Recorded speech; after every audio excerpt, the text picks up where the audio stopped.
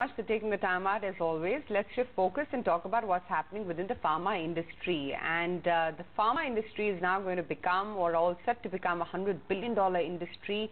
One Pharma steps uh, to boost pharma, increasing market share in pharma. These are all ponderable questions and points. Uh, so let's welcome on board Antony Prashant, partner at Deloitte India, to answer some of his observations on what's happening within the pharma basket. Uh, Antony, hi, morning. Good to have you on the show. Uh, you've written a recent report about your you know, the pharma industry. You say that it has the size and capability to grow up to $100 billion. What is needed to really scale up to that level? To give you a context before I get into the details of how we would reach this 100 billion, uh, if you look at the global pharma industry, it's around 1.3 trillion US dollars, and uh, and within that, uh, generics is around 270 billion dollars, and India accounts for three percent of the global pharma sector, which is at 40 billion today, and uh, and we are a very large exporting uh, organization. Uh, you know, close to 19, 20 billion of our industry's output is exported and 40 percent of the exports is predominantly going to the US and some to UK and other and other countries like South Africa. Now, if you look at um, the patents that would expire over the next uh, four to five years, roughly around uh, uh, 200 billion dollars of generics would be coming into the market, which therefore makes the global generics market move from 270 billion to 450 billion, and that's a significant opportunity for the India market because we are a large uh, exporting uh, industry. Now, if we need, if you look at uh, accelerating the journey, and when we are at 11% of the generics market, and given the, our ex exposure to exports, and if we accelerate the journey to at least achieve 17% of the demand, then there is significant opportunity for us to uh, for the, the formulation business of 30 billion going to 75 billion, and on top of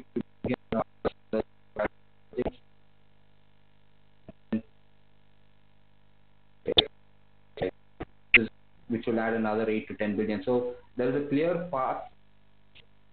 Uh, uh, generics market and the number patents that are going to expire in the next will be available for uh,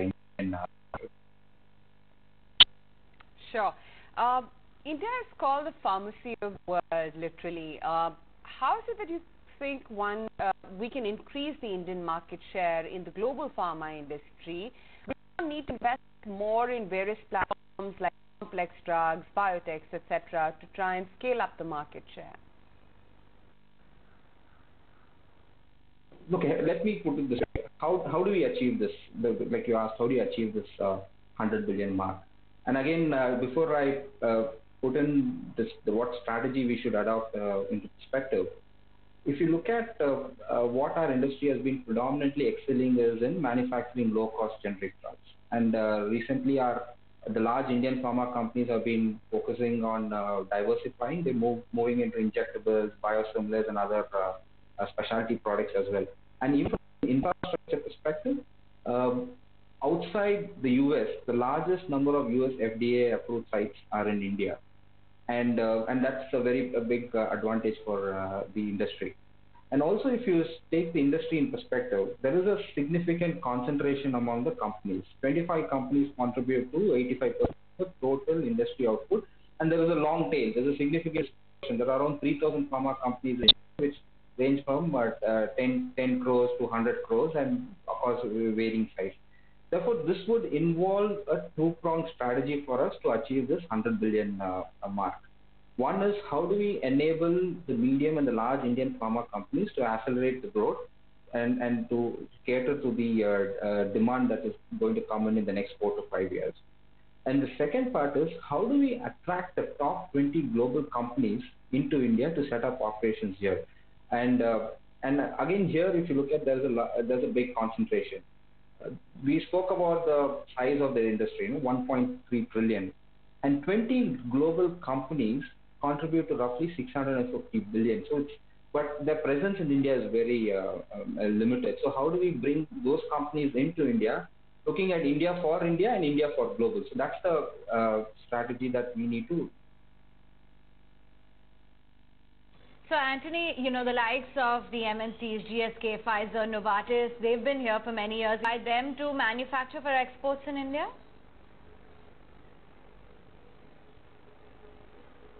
For, for exports, yes. Because our our our, in, our uh, domestic market is today around 18 billion, and as it grows, it could reach anywhere between uh, 25 to 30 billion. But the larger opportunity is there in the exports uh, out of that 100 billion. So how do they, and, and that's where, right, which is where we need to look at the larger ecosystem uh, that we have. For example, uh, how do we look at creating clusters or industrial parks where you have plug and play facilities for manufacturing at a global scale? How do we simplify regulatory mechanisms, set up the quality standards that par with the global best practices, and also create very transparent you know, fiscal support mechanisms? You know, when I spoke about this 3,000 pharma companies, which are in the, uh, uh, you know, the small and medium segment, we need to look at setting up this one pharma platform. Uh, where we will use technology for consolidating sourcing, supply chain, regulatory quality approvals, and, and the intent is how do we aggregate all these discrete capacities that are available to individual companies and enable collaboration and alliances with large global and domestic pharma companies. And we have seen that happen in the recent past, right? In the context of code, we saw a lot of global companies looking at India for uh, in licensing and a lot of uh, agreements that were signed up. So it could either be using this uh, ecosystem that is available for for set, for setting up operations in India and looking at uh, the India uh, uh, manufacturing ecosystem for global opportunities as well. But but we should be but also we should keep in mind this this would involve setting up you know regulatory standards which would enable global companies consider these uh, uh, small and medium enterprises on that one pharma platform for strategic partnerships. JVs are looking at any uh, contract manufacturing operations. So uh, how important is it to incentivize R&D across the board? What are some of the hurdles for R&D in the complex drugs, for biotech as well currently?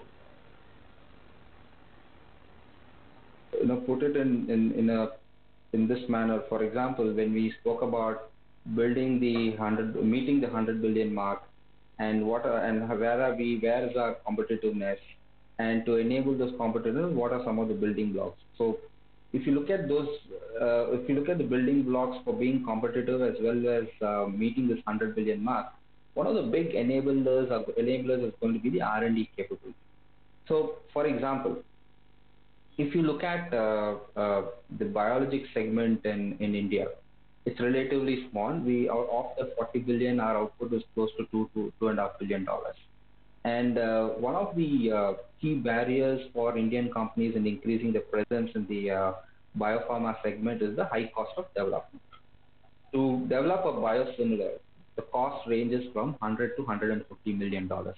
And and when I say a biosimilar, it's not the real biologics; it's the generics equivalent of when you when you have a, a patented drug and when the when the patent goes away, it becomes a generics. The similarity when applied to a biologics when the biologics patent expend, expires, it becomes a biosimilar. Now, it, it costs anywhere between 100 and 150 million dollars to develop this uh, biosimilar. And and uh, additional, additionally, if you look at all the clinical research initiatives on innovative products by companies as well as CROs, they need to comply with multiple DGCI regulations and queries, and therefore making the approval process complex and time consuming and uh, and and that's where we have to be spending more time from an R&D uh, capability, uh, and and every year regulatory agencies are granting approvals as well for uh, various uh, similar biologics for the treatment of multiple diseases. And if we have to achieve true potential and become a global leader, we need to bring in enabling policies for driving R&D in India, both the Indian and global companies that we are looking at. And the talent pool is available in India and also the existing infrastructure will uh, support it. For example, you know, we spoke about uh, the largest number of FDA sites out of the US, and there is a large domestic market that should enable this. And uh, and also the focus should be is how do we develop biosimilars at a very low cost uh, so that we are we still remain uh, competitive uh, in the global market because if we find that many large markets are moving towards generics, then it becomes a very commoditized product. So, for, so we need to build strong capability to enable uh, create biosimilars at a much lower cost. If we are able to create biosimilars at the cost of generics, that will be a big competitive advantage for India.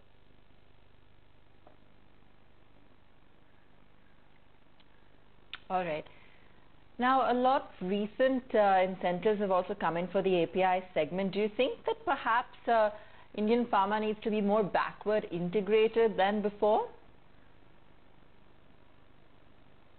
Very good question because uh, one of the uh, one of the dimensions that most of the pharma companies have embarked on today is on building resilience in the uh, supply chain especially in uh, in uh, in making the APIs or or more than APIs, the input materials for manufacturing the APIs, what we call as the key starting materials or the intermediates. And and and the reason why the new schemes that have come up is to be cost competitive with China. And the advantage that China has is, see, um, if you if you take an API facility, the biggest cost element is the uh, effluent treatment plant and the common utilities. So China has set up a lot of uh, huge bulk uh, parks where all these facilities are made available to companies and therefore they become cost competitive and at the same time more when you start looking at larger volumes uh, the uh, the utilization of assets goes up and therefore the cost as well come down and also one thing the china the, the local chinese market itself is very big you know for the domestic consumption in China itself is 100 billion, 100 and 120 billion. It's, whereas India is roughly around 20 billion. They are six times the domestic uh, consumption of uh, uh, India. Now, in order to ensure that we are uh, cost competitive as well as, as as well as being resilient, while so the question therefore companies have started answering now is do we do we look at cost arbitrage or we look at disruption arbitrage, right? So how do we ensure that we have steady supplies of uh, APIs at, and, and at the same time we are cost competitive. So and and it's in, and also if you look at the the the 373 73 essential drugs, uh, 200 of them are imported from China. And this is where we need to start uh, looking at uh, the multiple schemes that the government has uh, launched. So government has now come up with two schemes for pharma. One is the PLI scheme, where if you can, uh, if you are able to, uh, uh, what, what the scheme talks about is it gives some financial incentives uh, based on sales made by selected manufacturers for 41 products, which covers uh, around 53 APIs. And, and the incentive ranges from you know 5 to 20 percent based on the incremental sales. So that's going to help companies in terms of uh, bridging the gap between uh, the, the, Chinese prices and India price to some extent. But obviously, uh, there would be if there would be some uh, some APIs where we may not be able to meet the price competitiveness. But at least this helps the Indian companies to source APIs from Indian manufacturers because we have a large ecosystem in India. For example, if you take a drug like gabapentin, we have the capacity which is three times the demand, but we still import that uh, API from China. So therefore, we have the capacities. Now, how do we ensure that we leverage those capacities, build in efficiencies, improve asset utilization, and at the same time, build in resilience uh, into the uh, industry? And the second scheme which the government is now uh, has, has also come up with is the bulk drug park, and it is and this this scheme is primarily may is to provide uh, easy access to uh, world-class common infrastructure facilities and uh, which will be lo located in these parks where companies can come set up and make use of these uh, common uh, infrastructure facilities. And this is again for a period of five years. So there, so because of because we need to build resilience, I think the government has come up with these schemes which should uh, help bridge uh, the the price gap between China and India to some extent. All right, we'll leave it there. Thanks for joining us, Antony. Time to take a quick break. We'll be back on the other side.